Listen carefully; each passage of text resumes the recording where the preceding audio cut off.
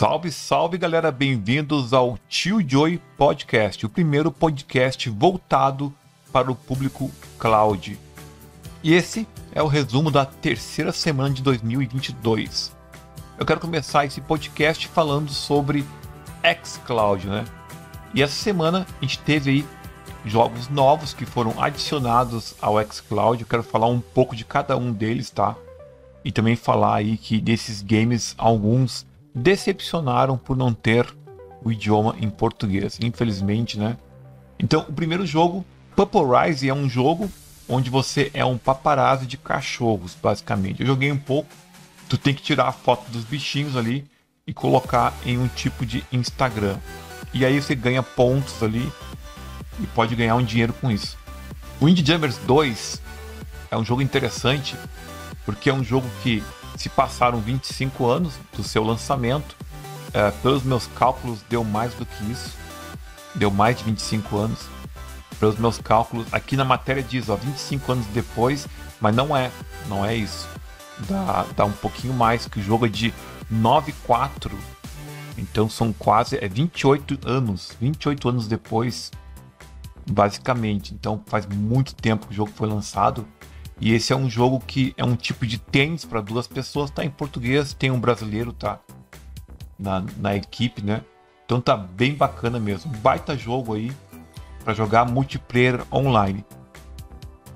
A trilogia de Hitman já foi anunciada e esse que surge, né? Pro Game Pass do mundo, uma ótima notícia. O Brasil já não foi tão interessante porque o jogo está todo em inglês. Então, infelizmente aconteceu isso. O jogo está em inglês então o pessoal ficou um pouco frustrado dentre as pessoas, eu, né, que eu gosto bastante da história do jogo aí. Death's Door, Death's Doors, esse aí sim, talvez um dos melhores, se não o melhor jogo da semana. Jogo altamente eficiente, com gráfico bacana, uma campanha bacana. Jogo realmente muito bom. Death's Doors entrou aí no xCloud, chamando atenção aí. O jogo está em português, é bem sinistro, bem bacana mesmo o Rainbow Six Extraction, né? Que é aquele blockbuster que todo mundo gosta, chama atenção. As pessoas jogam, algumas em jogo bem rapidamente, outras não enjoam, entram no jogo de cabeça, né? E acabam conhecendo a mecânica do jogo melhor. É um jogo bonito, ele rodou muito bem no Xcloud, né? E o Rainbow Six Extraction, junto com o Rainbow Six, né? Eles entraram também na conta Ubisoft. Então as pessoas estão jogando Rainbow Six pelo GeForce Now usando a conta do Game Pass. Olha que interessante.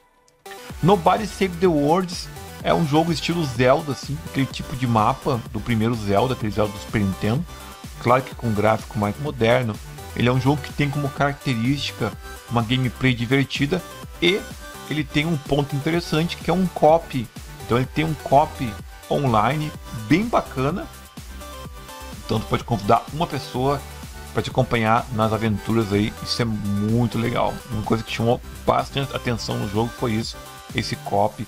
Ele é um RPG de, de mão cheia, muito bacana. Também entrou um game chamado Danganronpa Trigger Happy Revel Anniversary Edition. Infelizmente, esse Trigger Happy Revoke ele tá todo em inglês. Então é um jogo de investigação, tem uma pegada assim mais uh, oriental, né? Tem aquele lance mangá, mas infelizmente o jogo está apenas em inglês. Então é isso aí. Dos jogos da semana, então tivemos Hitman e tivemos Trigger Happy em inglês. Infelizmente, esses dois títulos aí deixaram um pequeno buraco aí nessa semana. Agora falando de Prime, o Prime, para quem não sabe, uh, o Prime Game te dá jogos, te dá um monte de vantagens, né? É o Amazon Prime para quem não assinou ainda, tiojoy.com.br/prime. E no Prime eles colocaram um item, tá? Para Rainbow Six Extraction. Então já tem lá. Então quem assina Prime pode ir lá e resgatar esse cosmético aí para Rainbow Six Extraction. E também eles deram aí para o Rainbow Six Siege, né, que também entrou para PC agora essa semana. Eles deram também um item também para você resgatar. Então, ambos os itens estão disponíveis lá no Prime Game. Essa semana, a Microsoft fez a doida aí de comprar a Activision Blizzard, né? Já tem um tempo que essa empresa gigantesca, antiga, tem passado por vários escândalos aí, várias tretas. A empresa em si já se pronunciou ser contra os abusos, os problemas que estavam ocorrendo dentro da empresa. E agora a compra da Microsoft pode sim ajudar a colocar também a empresa nos eixos e automaticamente essa compra bilionária vai trazer vários jogos para a gente aí.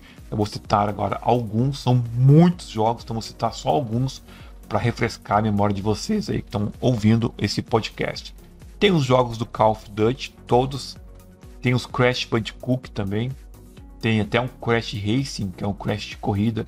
Spiro the Dragon, sim, o Spiro the Dragon e o Crash se criaram dentro do PlayStation estão agora na Microsoft. Tony Hawk, para quem gosta de skate, também é bem interessante. Guitar Hero, inclusive, pode voltar, tá? O Guitar Hero a ser lançado, que é bem interessante. Tem uns jogos da Blizzard, então, muito legal. O Overwatch pode entrar no Game Pass também, tá? Tem uma boa chance. Então é isso aí. Tudo isso aí vai acontecer, vão entrar jogos pra caramba. Já foi dito que vai ter, vão ter um carinho especial aí com a comunidade cloud, então é só esperar coisas boas pela frente aí. Agora falando de GeForce Now, GeForce Now essa semana começou tímido, começou tímido com poucos jogos, né? No site oficial Thursday, apenas quatro títulos, sendo eles Tom Clancy's Rainbow Six, Blacksmith Legends, Flycorp e Garfield Card. Claro que o jogo lá, Rainbow Six Extraction, também surgiu no catálogo aí essa semana para o pessoal jogar lá através do GeForce Now. Desses títulos, o jogo Garfield Kart ele está em promoção, saindo por R$ 2,90 apenas, menos, menos de R$ reais. Tu pode comprar o Garfield Kart e jogar através do GeForce Now. Então, pessoal, e essa semana o nosso convidado aqui é o canal do Ragnar. Eu vou entrevistar ele agora aqui no canal. Vocês sabem que aqui no podcast entrevista um influencer, né, por semana. Dessa vez tem um espaço aí para o Ragnar. Eu queria que ele começasse falando sobre o canal dele, quando começou, onde ele trabalha no momento, né? Em quais canais ele trabalha, se trabalha no Twitch, se trabalha na Trovo, o que, que ele tem para nos dizer, beleza? Então com vocês, canal do Ragnar. Salve, salve rapaziada, salve galera, aqui quem fala é o Ragnar. Seja todo mundo bem-vindo aí, mano. É um prazer imenso aí estar tá no canal do Tio Joey aí, fazendo essa entrevista maravilhosa aí super gente fina e é um prazer imenso, cara, receber esse convite aí. Tipo, eu, sou novo no YouTube, né? Eu comecei ali em 2019, né? Foi em janeiro. Se eu não me engano, dia, passei exato, acho que foi dia 19 de janeiro de 2019. Mas aí eu comecei um pouquinho antes, só que não levei muito a sério. Então, tipo assim, eu tive. Minha filha nasceu bem na época, nessa época, né? E, então eu via muitos conteúdos assim, qual eu me, me inspirei bastante também. Eu falei, cara, eu preciso gravar essa bagaça aí, mano. Eu preciso fazer alguma coisinha, tá ligado? Começou a ah, observar, ah, começou a observar o mercado e viu que tinha chance de fazer um conteúdo parecido assim, mas é, com, a tua, com a tua cara, assim, no caso. Sim, então, aí eu, eu, tipo assim, que não eu falo, ah, o canal do Ragnar, não sei o que, é isso, é, cara, se você parar pra analisar um pouco o meu canal, nem eu sei o que significa o meu canal hoje, né? Por exemplo, eu faço bastante conteúdo de, de Xbox, né? Eu faço bastante conteúdo de xCloud também. Tipo, meu negócio é trocar uma ideia, né? Uma resenha, assim. É, conversar bastante, trocar, fazer amizade, criar uma família que nem a gente tem hoje no Discord, né? É uma família que está crescendo cada vez mais, graças a Deus. Eu só tenho a agradecer, principalmente ao tio Joey aí também. Então, o meu negócio é esse, cara. Pra mim não, não, não tenho muito o que falar. Tipo assim, ah, o canal do Ragnar é é, é fanboy, essas coisas que a galera fala, né, que é fanboy. Cara, ó, primeiro de conversa, quando eu criei o canal, né, o foco era Xbox, né, porque tinha muitos poucos canais de Xbox e eu via, tipo assim, pô, é, preciso criar um conteúdo do qual eu gosto, né? Não adianta eu chegar e criar um conteúdo do qual eu não gosto, que eu não consigo ser ser imparcial, cara. Tava fraco de Xbox na época, né? Então, Tipo assim, eu vinha muitas coisas também, o pessoal, a massa, né, tacando um pau ali e tal, e somente no Frame War, né, hoje. Eu não faço Frame War, mas de vez em quando a gente leva na zoeira, a gente brinca um pouquinho ali, né. É claro, a gente nunca deixa, deixa passar nada, mas fora isso, cara, É, eu quero também fazer o convite pra rapaziada aí, se quiser comparecer também, né? Chegar junto aí que vocês vão gostar pra caramba. E eu quero envolver essa galera hoje, né? Pra conhecer também, né? Porque tem muita gente que não gosta de Joy. É, ou pelo menos nunca ouviu falar, né? Sobre xCloud também, né? Cloud Gaming, ou até mesmo Xbox, que estão migrando agora para essa plataforma. Então, assim, a pessoa vai lá, assiste um vídeo ali de um youtuber e tal, e começa a analisar bem, porra, isso aí é bom, cara, tem isso, tem aquilo, então eu sempre falei bem. Claro que quando tem umas coisas que acontecem, coisa ruim, a gente vai falar também, né? Nem tudo são maravilhas, nem tudo Claro, claro. Então a gente tem que ser bem claro assim. Mas. Mas é isso, cara. Comecei meu canal no YouTube, ao mesmo tempo já comecei na Twitch também. E ao longo do tempo assim eu fui parando. É, né? Tipo, assim, rolou muitas coisas assim no decorrer da vida, assim, com minha filha tinha acabado de nascer também, então eu tinha parado, né? Parei com o canal, parei umas duas, três vezes mais ou menos. Taquei meus projetos tudo fora, cara. Como se estivesse pegando assim um, um, caderno assim, tacando dentro da lixeira e tipo, foda-se, tô nem aí. Vou fazer essa bagaça mais não. Então acho que todo mundo já passou por isso. Claro. Só que tem muitas pessoas ao meu redor, inclusive minha esposa, né, que foi que me ajudou bastante nessa caminhada, assim, e deu essa força. Porque, é, por que você não gosta? É isso que você gosta? Tenta, né, e tal. Aí eu voltei e, tipo assim, o que, o que gerou essa galera que hoje tá no, no, no canal mesmo foi o xCloud, cara. Então foi o quê? Agora em 2021 o xCloud surgiu. Então a galera começou a conhecer mais o canal, né? A galera começou a ver. Tipo, eu não queria fazer só conteúdo de xCloud, até porque tem um Xbox, né? Às vezes eu também jogo um pouquinho no PC e tal. E eu queria muito envolver essa galera. Então, graças a Deus, hoje as pessoas entram, tipo assim, pelo conteúdo, né? Pelo, pelo que, pela característica do canal e pelo que o, que o Ragnar é. Tipo, se eu sou hoje aqui, eu sou no, no meu canal também, como eu sou aqui com a minha família. Negócio isso, né? Ser bem claro e. E papo reto. E te encontra o Ragnar aonde hoje? Então, hoje, hoje eu tô focado mais na plataforma da Twitch, né? Com a plataforma que, que tá me ajudando bastante. Inclusive a gente pegou a afiliação. Então a gente tá fazendo bastante foco na Twitch. É, tem o meu canal na Trovo também. Né? Comecei na Trovo, só que eu sou muito novo lá, é recente, então eu tenho que migrar essa galera também pra Trovo. Mas isso aí é consequência do projeto da Twitch. Então, quando a gente estiver bem na Twitch aí, a gente vai migrando aos poucos pra, pra Trovo também, tentando as duas plataformas ao mesmo tempo ali. No YouTube eu tô, tô parando um pouco, mas é claro que a gente também tem algumas, alguns projetos pro YouTube também, né? Quando assim, quando tiver firme canal na, na Twitch, a gente faz uns cortes lá do, do canal do Hagen lá no, no YouTube também. Então é isso, essas três plataformas são as plataformas que eu mais utilizo hoje em dia, mas a que eu mais faço live hoje, conteúdo de gameplay e trocando ideia, né? Assistindo com a galera tal, e e na resenha é a Twitch, cara. É, a Twitch ele é, ele é a principal plataforma, né? Não adianta. Quando o assunto é gameplay, ela é oficial, né?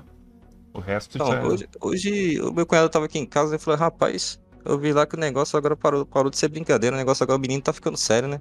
Eu falei, rapaz, eu, né, olha, fala pra você, tanto na Twitch quanto no YouTube, o negócio tá, tá bom, né? Tá evoluindo bastante. Eu tenho a agradecer também, bastante, mano. sou muito grato a isso. Mas eu quero dar o foco pra Twitch agora. Porque o YouTube é bem complicado, né, TJ? É complicado. É bem... E olha só, a tua experiência com o xCloud, assim, a gente sabe que no começo, porque tu não sabe, mas eu te conheci, eu te conheci numa live de xCloud, né? Eu te falei isso, né? Mas tu não sabe do detalhe. Eu te conheci numa, live de xCloud, tu e o foguete, né? O querido foguete. Querido tu foguete, tava, verdade. Tu tava esperando o foguete, eu tava esperando também, eu tava vendo outras lives, né, de outros youtubers, todo mundo no foguetinho, né? Eu falei, mas que zica.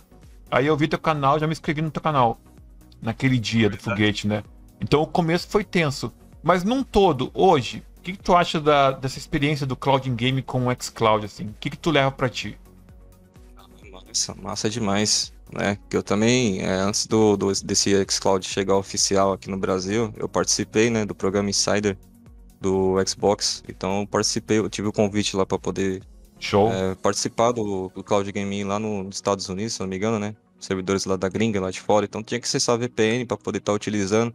E eu via que o que, que realmente, né, o, os jogos em nuvem, cara, era, mano, era muito vantajoso você você só abrir o navegador e jogar, cara. Isso ali, é, para mim, era tipo mil maravilhas, né?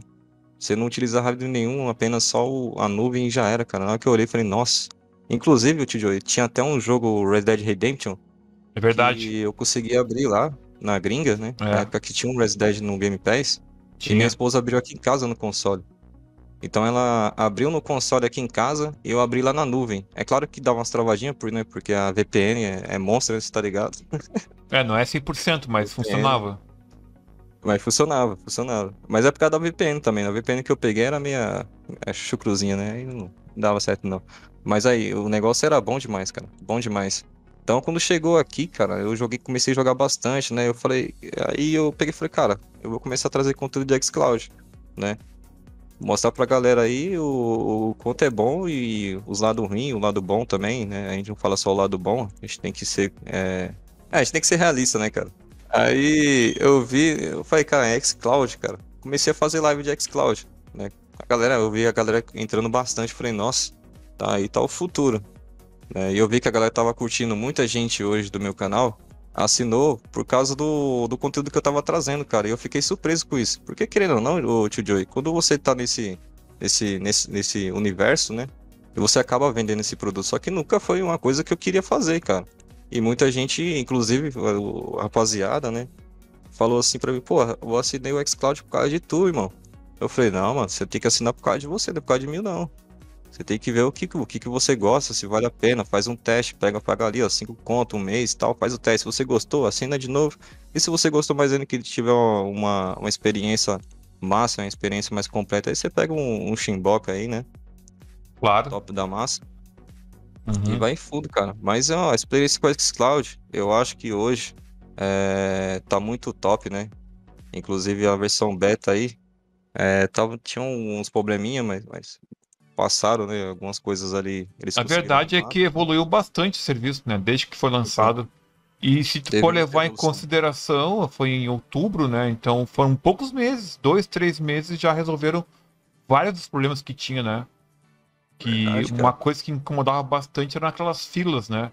E hoje não tem fila mais. Domingo, qualquer horário que você entrar, não tem fila. são filas era muito curtas. Nossa, nem me fala, te conheci com um foguete, né, Ragnar? Live do foguetinho. E, inclusive, cara, eu, o pessoal tava falando lá, eu vi seu canal, fui lá, ah, vou ver o conteúdo do tio Joey aqui, vou ver se é bom também, né, mano? Eu já gostei por causa do controle da foto. Falei, ah, então esse aqui. Você é, tá ligado? Isso aqui é do eu lado, peguei eu falei, ah, top lado, demais. lado verde, Você né? fazia muito conteúdo, cara. Então, lado verde da força. Aí eu vi que você fazia muito conteúdo massa, cara. Eu comecei a acompanhar, se inscrever no teu canal também, comecei a aparecer mais vezes lá. É claro que a gente não consegue aparecer em todas as lives, que é impossível, cara. Claro. E como você grava conteúdo, você, você sabe como é que é. Eu faço conteúdo aqui, tu faz aí, tipo, é, quase Desencontra. sempre a gente se encontra, né? Claro. né? Então, Diz uma coisa, ô Rainer. eu, Essa questão da compra da Blizzard aí, cara, que a Microsoft fez, o que tu achou disso aí? Ela comprou a Activision Blizzard. Agora é só sentar e relaxar, né, pai? sentar e relaxar, porque assim, a partir do momento que a empresa é, a- adquire um- uma grande empresa como, como a Blizzard, Activision Blizzard, né? Então a Microsoft já tem um poder na mão dela ali, né, cara? Tipo assim, você vai ter uma possibilidade de um catálogo monstruoso aí no seu, na sua assinatura. Tanto no seu Shinboka, a assinatura em si, do Game Pass Ultimate. Então hoje a gente tem uns serviços como é, a EA Play, a gente tem a, a Ubisoft que tá para chegar também, né? Ubisoft mais. A gente tem os exclusivos do Xbox, é, de estúdios também third party. Né? Então tem muita coisa ligada aí. Hoje também vai ter nada mais nada menos que o catálogo imenso aí da Activision chegando aí com os, com os Call of Duty e, e possibilita também a chegada aí do World of Warcraft para PC também, que, né? Então entra nesse mercado competitivo. Eu tenho a impressão seja, que é- o World of Warcraft vai entrar no pacote Game Pass junto já. A- eu a acho que ele vai entrar mensalidade. pra PC. Sim, sim, pra PC, mas vai entrar a mensalidade e vai entrar juntos. Tipo, assinou Game Sim. Pass, eu tenho acesso ao World of Warcraft. Eu tô achando. Verdade. Eu posso estar Eu enganado acho, também. que, eu acho que logo, logo. Porque, tipo assim, eu tava vendo a matéria esses dias, né? Que eu também faço um. Com a galera, galera que não conhece, eu também faço um, um pouquinho de, de notícia. Eu trago algumas notícias. Resumo de notícias, né? É, eu faço um resuminho ali, a gente destrincha, né? A gente descabela ali na hora e tal. E eu percebi, cara, que a estratégia do mercado hoje tá muito, tá muito a favor da Microsoft. Você vê ali que depois que ela adquiriu essa empresa, né? As ações da Sony, fez a concorrente, né? Caiu é, mais de 20 bi, cara, né? Isso em menos de quê? Menos de 24 horas. Não, foi Então uma você vê a queda, uma queda grande. a queda brutal. Então você vê a importância da, da, da Activision, é, como ela é grande. E ela não comprou apenas a Activision, assim, ó, Activision Blizzard. Cara, ela comprou a cereja, a cereja do bolo. Né? A gente tinha a Square Enix, tinha a EA Play, tinha a Ubisoft, mas é, dentro desses mercados, o valor da, da Activision Blizzard, no, o valor de mercado, é muito superior, inclusive até da própria Nintendo, cara. Que fica é verdade, É verdade. A Nintendo, ela, ela é invendável, né? Tem gente que não sabe disso. Ela não, não tá à venda. Então, nem querendo tá comprar, conseguiria, né? Mesma coisa tu tentar comprar a Naughty Dog ou Santa Mônica, né? Mas é, outras empresas é possível comprar. A SEGA é possível comprar, a Ubisoft é possível comprar. Verdade. E eles compraram a, a, essa daí. Eu achei uma compra muito grande, assim, e eu gosto muito de Call of Duty, o Ragnar. Só que assim, ó. Eu gosto bastante também. Os Call of Duty são caros, cara. Tá? Pra te ter o um jogo cara. original. São caros. 200 conto um jogo, 150 outro, 200 pila outro. E não dá, né, cara? O dinheiro tá curto. Então eu penso assim: se esses jogos entrarem no Game Pass pra PC, nem que eu tenha que baixar o jogo, né? Ou se entrar no Game Pass pra console, ou se entrar alguns títulos no Xcloud, já tá ótimo, cara. Porque Nossa, passaram, passaram muitos Call of Duty que a gente perdeu, né? Nossa, São os mais recentes aí, que a gente nunca viu. O pessoal fala muito no Call of Duty Warzone, que é a versão Battle Royale, né? Mas existe, tem uma campanha inteira, cara. E a campanha? As pessoas não jogam a campanha. Possibilidade. Eu acho uma possibilidade, sim, do Warzone poder estar tá chegando. Não tiro essa possibilidade, né? Entre muitas possibilidades. Por exemplo, o Warzone ele pode ser incluído, sim, é, no catálogo Game Pass, porém, no jogo completo. Ou seja, sim, vai sim. ter o jogo completo. É o jogo completo e o Warzone vai junto. Exatamente. Eu acho que eu acho que pode acontecer isso, né? Se ela for exatamente estratégica no mercado de competições, eu acho que ela pode chegar assim é, no catálogo do Game Pass ali Warzone junto com o jogo completo, tanto com o Cold War também, né? O Vanguard. Top. Então eu acho que é uma possibilidade sim. É, não sei se vai possibilitar o funcionamento pelo VX Cloud, mas eu acho que até lá, eu acho que eles conseguem colocar. Não, assim. o xCloud roda sim. Ele roda bem para console. E Rodou bem no console e vai para xCloud tranquilamente. Se eu colocar o Flight Simulator agora, né, cara? Imagina. Vamos colocar. Pra colocar nossa. o Arizona Barbada. Meu sonho é colocar o Flight Simulator. E é. agora com o Age of Empires também chegando uma versão para consoles, né? Consoles. Sim, eu não sei se não vai exigir o mouse, o mouse, cara. Então. Ragnar, para concluir então agora nossa nossa entrevista aqui, mini entrevista, né? a pergunta polêmica, né? Essa aqui eu vou fazer sempre dos meus entrevistados aí. Vamos supor que tu não tenha console nenhum, tá? Teu console queimou e tal, tá sem nenhum console. Aí tu vai ganhar um console. Tu pode ganhar um Xbox Series X, Series X, né? Ou um PS5. Qual tu iria escolher? Ah, cara, sem dúvida o Xbox Series X, né? Então, ou Series X ou Series S. Eu imaginei que tu ia escolher o Series X. Não, eu achei que eu ia escolher o PlayStation, tô zoando. Não, mas se for para escolher entre o PlayStation e o PlayStation 5 e o Xbox Series S, eu escolheria o 5, iria vender, né? Aí eu comprava o Xbox Series S, mas uma porrada de jogo. Essa de mercado, né? Tipo, é, mercenário. Pega, pega, ali os seis contos ali, investe no Series X Sim, e já, já compra um monte de coisa. Fone, cadeira gamer, né? Nossa. pra quê, cara? Você tá louco? Você faz a assinatura aí, rapaziada. Paga, paga baratinho pelo que o serviço oferece para você hoje. Eu Verdade. acho que no mercado não vai ter igual. É muito jogo. Cara, muito obrigado então, cara, pela presença aí. Alguma mensagem final pro pessoal aí que tá assistindo nosso. ouvindo nosso podcast ou assistindo pelo YouTube? Algum recado final? É, a mensagem que eu quero falar pra, pra rapaziada aí que, do podcast é que deixa o like, né? Deixa de deixar o like aí no canal de hoje, canal top demais. É, compartilhe os vídeos também, que isso ajuda bastante. O stream está batendo a nossa meta aí. Não sabe quanto isso ajuda. Continue comparecendo sempre, sempre que puder. Vai, vai comparecendo aí nas lives, beleza? Vai comentando aí, arregaçando no chat aí, deixa o like. E é isso, vem comparecer também no canal do Ragnar aí. Vem conhecer um pouquinho da nossa, nossa história, da nossa família aí, beleza? Show de bola. Eu vou colocar todos os contatos do Ragnar aqui no vídeo do YouTube, tá? e também no Spotify. Eu posso colocar os links lá, beleza? Pessoal, então é isso aí. Um forte abraço, até o próximo podcast e falou!